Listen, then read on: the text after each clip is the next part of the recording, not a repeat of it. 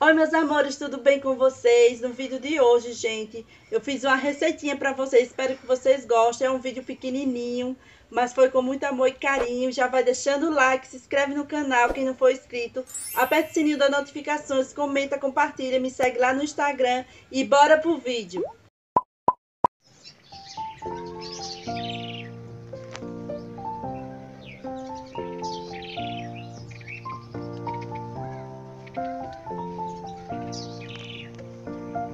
Bom dia, meus amores. Hoje já é um novo dia, amanheceu por aqui e tá estiadinho, né? Ultimamente é bastante chuva, mas ontem e hoje foi mais estiadinho, só passou umas nuvenzinhas. Ó, esse pé de abacate, ó. Meu esposo cortou ali, ó, já tá fiando. Porque ele tava crescendo muito pra cima. Aí ele cortou para ele ficar mais frocadinho. E aqui os pés de milho estão crescendo. Só não sei se vai prestar.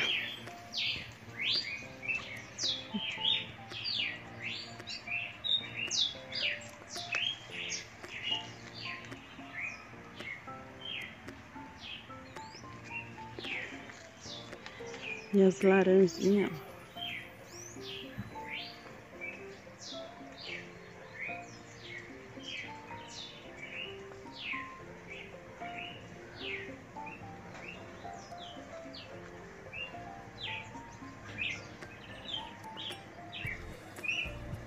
E o pé da cerola tá cheio da cerola.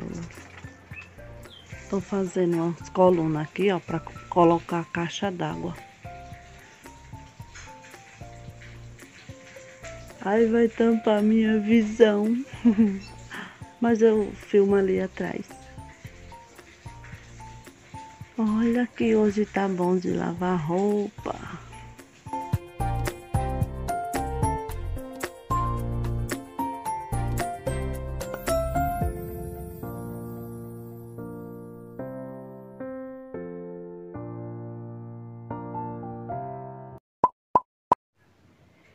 Olha, meus amores, hoje é sexta-feira, dia 10 de junho.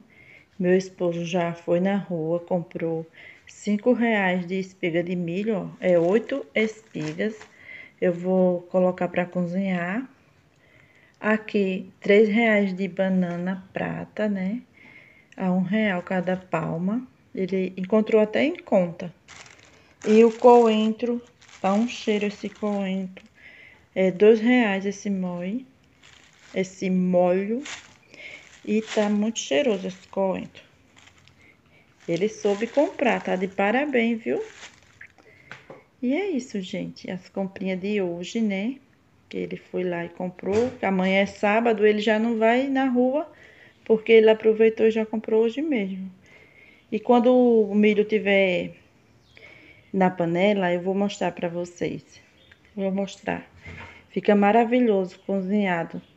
Coloca água, um pouquinho de sal e fica muito bom. Olha, meus amores, já coloquei aqui, ó, o milho.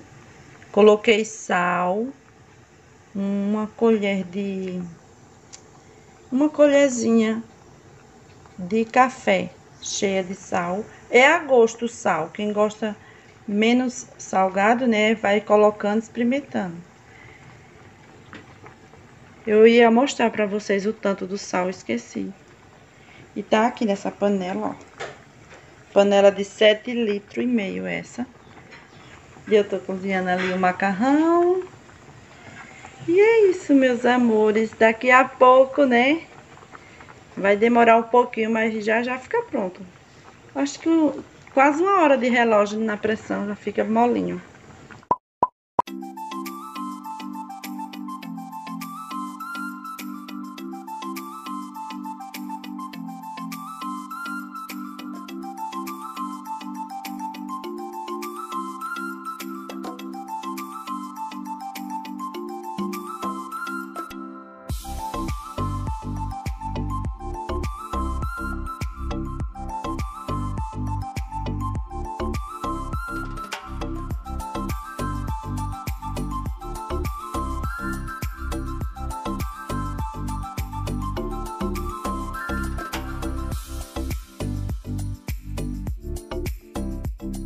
Mais tarde.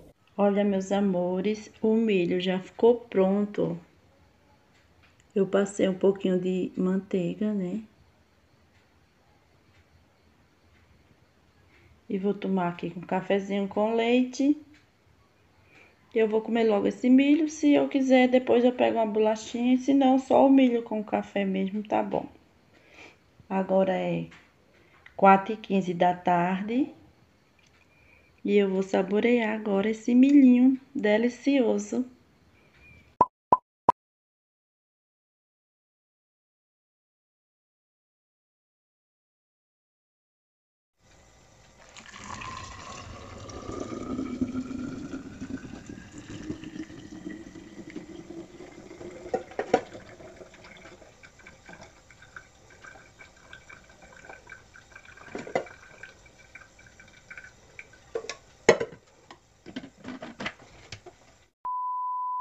Olha, meus amores, vou fazer um bolo de milho cremoso.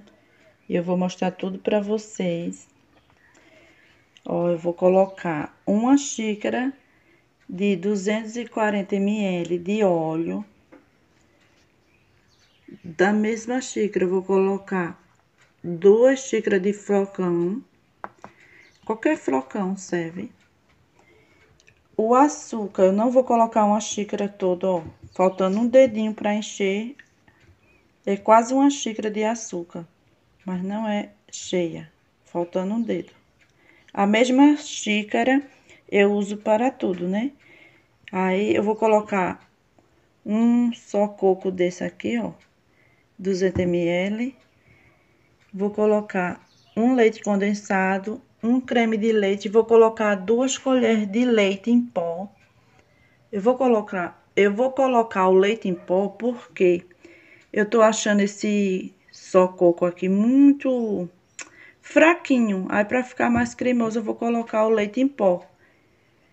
E uma colher de fermento em pó químico para bolo e meia colher de chá de sal.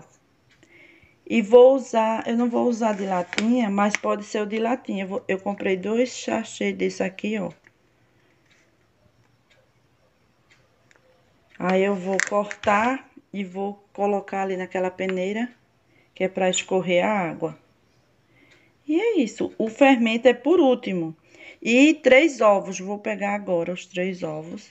Olha, meus amores, já coloquei os três ovos aqui, ó.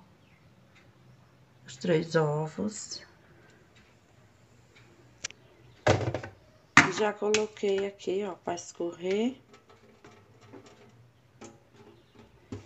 Aí eu vou colocar tudo e bater bem por uns, por uns 5, 4 a 5 minutos batendo, para ficar bem batidinho, bem misturado. E por, por último é que eu coloco o fermento em pó.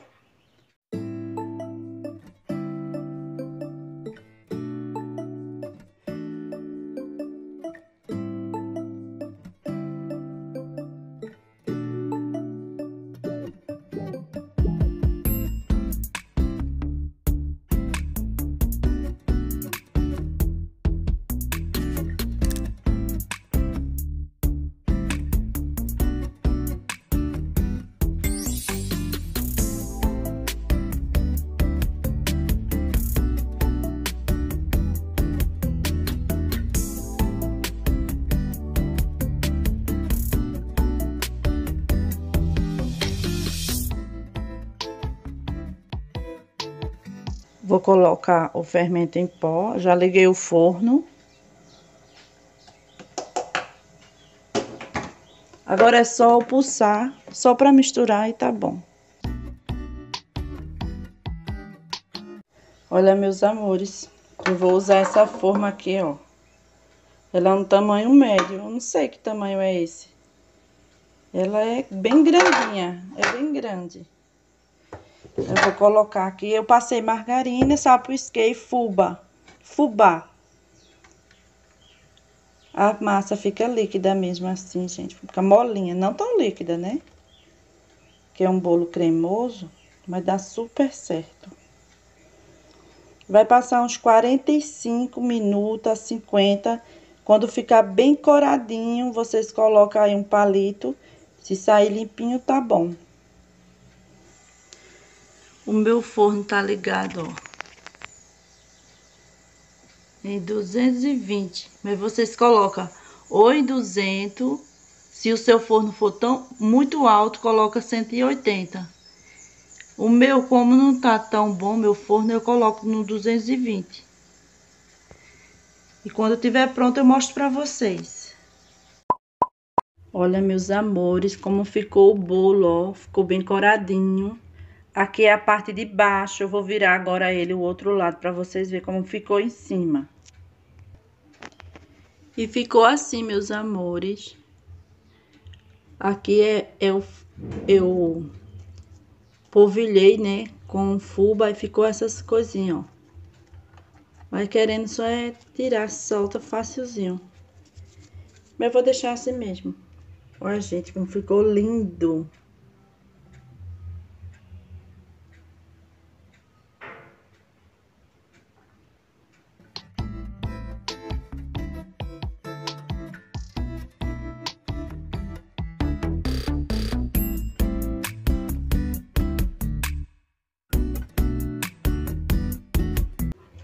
Gente, fica tão fofinho, tão macio.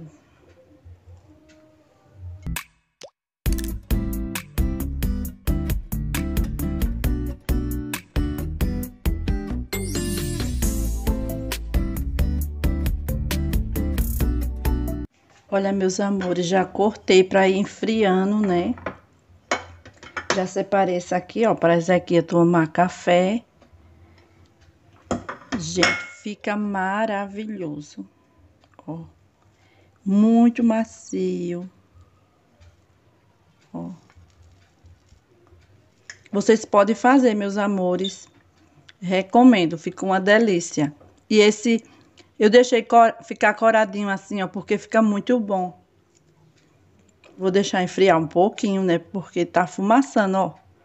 Tá muito quente, mas é bom quentinho com café. E eu já preparei o cafezinho, né? Agora vou tomar o cafezinho e comer com este bolinho maravilhoso. Pode fazer. Vocês podem fazer esse bolo com um milho natural mesmo. Só é encher uma xícara bem cheia, coloca duas xícaras bem cheias de carocinho de, de uma espiga de milho, umas três espigas de milho grande, eu acho que dá para fazer esse bolo, fica maravilhoso. Mas eu sempre faço com o milho que compra na rua, né, no supermercado, aquele, ou a latinha ou o sachê. E fica muito bom.